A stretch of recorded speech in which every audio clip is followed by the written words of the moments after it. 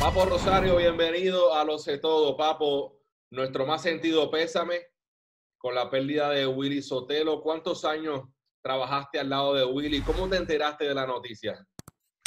Mira, yo estuve al lado, trabajando con, al lado de Willy, eh, tuve como unos 12 o tal vez más, más años. Eh, bueno, desde, desde que Willy entró al combo, yo, pues yo estaba. Quien le dio la bienvenida al gran combo pues prácticamente fui yo, pues yo fui a entregar los uniformes. Recuerdo que fue allá en la placita de la Rupert. Le entregué los uniformes y ahí comenzamos pues eh, esta amistad, esta hermandad, eh, compañerismo.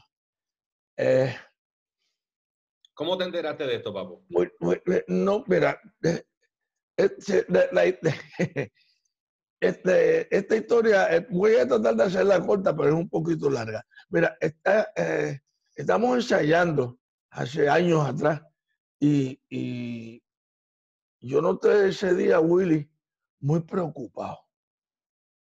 Nadie se dio cuenta, pero no sé si por yo, por lo presentado que soy o lo que me pasó. Tú sabes, yo, yo soy la chispa, ¿no? Y yo lo veo bien preocupado en el piano. Y cuando terminamos el ensayo, le pregunté, Willy, ¿qué te pasa? Me dice, ¿qué pasó? Yo, ¿qué te pasa? Te veo preocupado. Y él me dice, pues, nos fuimos por un lado, por una esquinita. Me dice, ah, chico, me, me salió- me están saliendo unas cosas ahí en el, alrededor de, de- la cintura. Y, me hicieron unos, unas biopsias. Y le digo, ok, pues está bien. Pero entonces, en esos días, pues salíamos de viaje. Y entonces, Willy, ¿qué pasó? Me dice, salieron positivas. Pero lo último que se pierde es la esperanza, para encima, tú eres un hombre joven, un hombre que se, se ha cuidado bien, él no se maltrataba porque Willy no bebía, no tomaba, no se amanecía, bueno, se amanecía cuando estábamos tocando, ¿no? Pues natural, es el trabajo. Y se alimentaba bien, o sea que no, no había nada porque no esperaba que, que fuera, saliera eh, eh, eh, victorioso. Pero que entonces de momento me dice, "Ve, se me fueron para el cerebro. Y yo, ¿cómo? Sí, se me están subiendo el cerebro. Ahí fue que le hicieron la primera operación. Eh, en el cerebro le sacaron creo que dos, dos, dos, dos, dos, dos, dos nódulos de esos. Y pues ahí siguió la cosa. Eh, cuando yo salgo del combo, eh, eh, llegamos a hablar. eh, eh, me dijo, me, me habló algo sobre, sobre bueno, la- el tema. Y entonces me dijo, cuídate. Eh, pues yo tuve que salir, todo el mundo sabe cuál la razón por la cual yo salí del combo, ¿no? Y entonces me dijo, cuídate. Yo digo, cuídate tú. Eh, él hace dos años atrás aproximadamente tuvo un- un- una situación en un avión.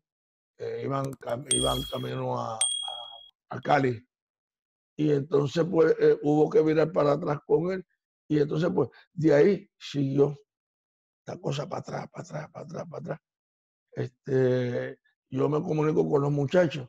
Los muchachos me venían diciendo, está malito, papo, está malito, está malito, está malito, está malito. Y el tamalito este, ahí está. Eh, bueno, eso es papá Dios. Ahí, ahí, ahí no puedes hacer nada. Eso es papá Dios. Es ¿Tú lamentable. estabas, tú estabas al día eh, de esta última recaída de él en el hospital? ¿Estabas al tanto? Sí, los muchachos me mantenían al tanto. Me decían, este, pa- pa- papo, lo hospitalizaron, está muerto, así que yo.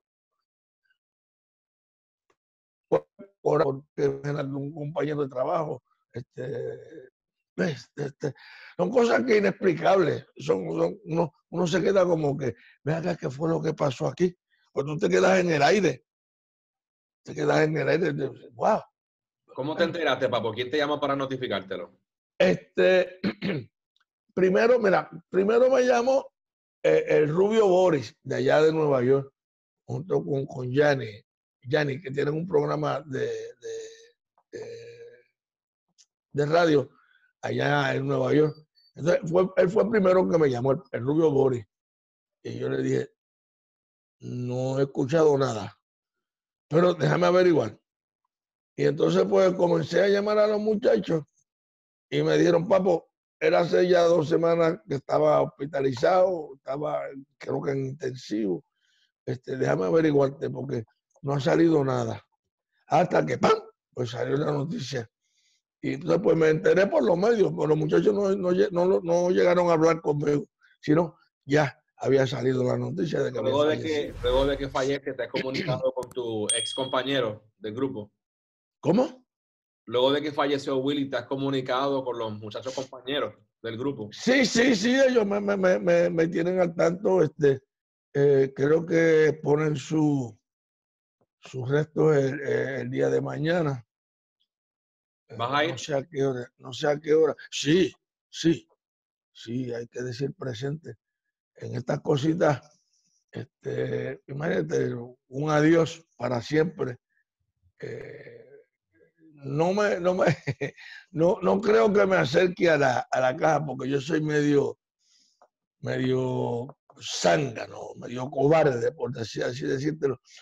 Y quiero llevarme, eh, que él se vaya, pero yo quedarme con, con la imagen de Willy, no, no, no quedarme con la imagen de verlo en la caja porque me afecta.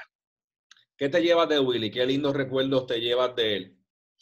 Bueno, Willy, mira, fue un trabajador incansable. Él, él, él, él tenía una entrega por su trabajo fuera de lo normal, porque él, él todo era, entonces él hacía la grabación, él se, eh, hizo arreglos, él hizo composiciones, perdón, él corría con el libro. O sea, él, era polifacético, él, corría todo, todo, todo, todo. Y, esa entrega, eh, eh, ese trabajador incansable, este, eh, es digno de encomiar porque lamentablemente, pues hoy en día tú vas a las tiendas y vas a los supermercados y vas a cualquier lugar, vas a un restaurante y faltan empleados. Es ironía, es una ironía porque entonces él hacía tanto trabajo. Entonces, vamos aquí a cualquier lugar, este, un restaurante o qué sé yo, y entonces faltan empleados. Y yo digo, y entonces este hacía el trabajo de qué sé yo cuánto. Y entonces no, no hay, no, no, no, no, sé, no sé hacia dónde, el camino que llevamos no sé hacia dónde vamos. De verdad que no.